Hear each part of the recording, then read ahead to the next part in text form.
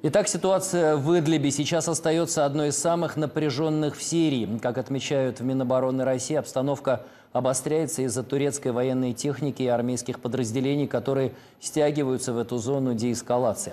О том, что сейчас происходит в Идлибе, узнаем у нашего военного корреспондента Евгения Подобного. Он единственный из российских журналистов, сейчас работает в этом районе и сумел выйти с нами на прямую связь. Женя, здравствуйте. Итак, какова обстановка на эту минуту?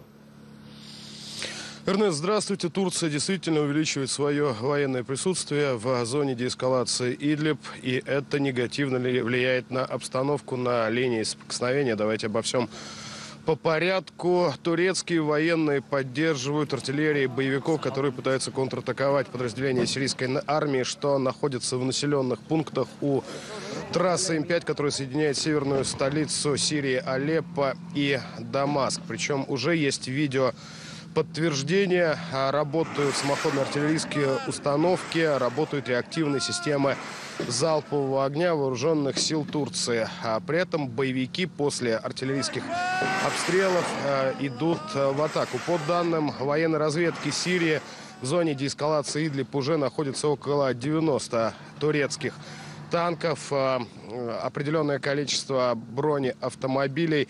Турция продолжает перебрасывать дополнительные силы и средства. Сегодня Министерство обороны Российской Федерации распространило кадры, которые сняты с беспилотного летательного аппарата. На кадрах видны масштабы переброски сил через сирийско-турецкую границу и, э, собственно говоря, в зону деэскалации Идлиб. Обстановка там остается крайне напряженной. Накануне боевики целый день пытались э, контратаковать э, позиции бойцов сирийской армии. И вот какое заявление сегодня сделали в российском оборонном ведомстве.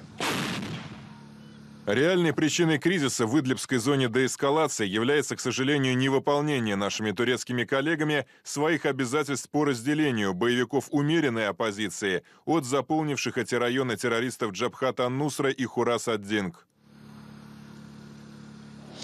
Действительно, как мы можем судить, в атаку идут боевики радикальных исламистских группировок, которых, а, которые превалируют в зоне деэскалации Идлиб. Они пользуются и турецким военным присутствием, по сути, прикрываются турецкими военными для того, чтобы атаковать как военные объекты Сирийской Арабской Республики, так и мирные кварталы тех населенных пунктов, которые находятся на линии соприкосновения с зоной деэскалации Идлиб, более того, использует современное а, западное оружие, которое было переброшено Турцией в Идлибскую зону, в частности, в распоряжении боевиков террористических а, группировок появились переносные зенитно-ракетные комплексы. Я напомню, что накануне сирийский вертолет был сбит при помощи ПЗРК.